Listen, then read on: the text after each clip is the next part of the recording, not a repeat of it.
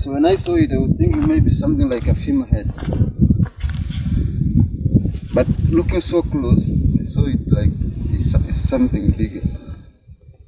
But I just decided that Dr. Nyete, let me wait for Dr. Nyete, and for Nyete and Dr. Nengo to come and have a look on it. So when they came and saw it, and that was it. So they, they found it was an ape skull. Feel so proud of it because finding a full skull of uh, a Miocene, a mid, mid Miocene A, is really wonderful. It's really wonderful. Because such a skull has never been found fully. It's never been found fully.